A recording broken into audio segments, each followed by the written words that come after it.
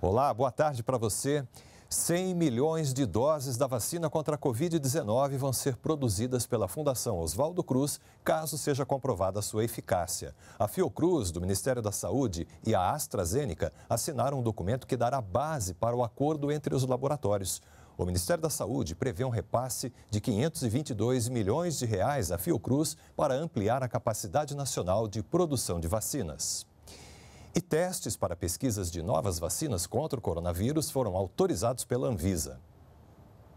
O estudo prevê a realização de testes em cerca de 29 mil voluntários no mundo, sendo 5 mil aqui no Brasil. O ensaio clínico é composto por três estágios e o Brasil participará da fase 3 do estudo. É uma parceria entre a Pfizer e uma empresa alemã chamada BioNTech.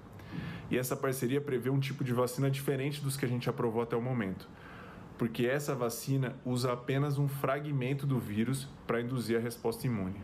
De início, serão mil voluntários com idades entre 18 e 85 anos, moradores dos estados de São Paulo e Bahia. A Anvisa se baseou em resultados de estudos in vitro, mas também resultados de estudos em humanos realizados nos Estados Unidos, para ter certeza de que a segurança estava caracterizada o suficiente para que pudesse ser usado em voluntários brasileiros. Para esse infectologista, o ideal seria uma vacina que protegesse as pessoas da doença, dos casos graves e que fosse uma dose única para quebrar de forma rápida a cadeia de transmissão do vírus. O Brasil tem uma expertise enorme de campanha de vacinação facilitado mais ainda pela capilaridade do SUS, pelas unidades do SUS que você tem em todos os municípios brasileiros.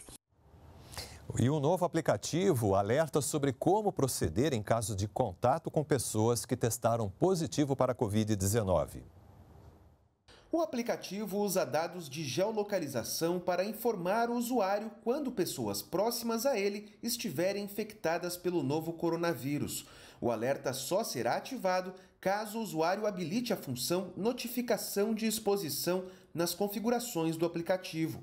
O sistema não identifica o doente, apenas avisa da proximidade de pessoas que testaram positivo.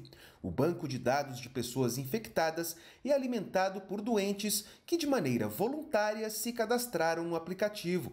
Segundo o Ministério da Saúde, cerca de 10 milhões de pessoas possuem o coronavírus SUS instalado nos celulares.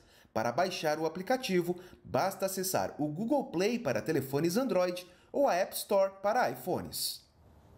A gente fica por aqui. Tchau!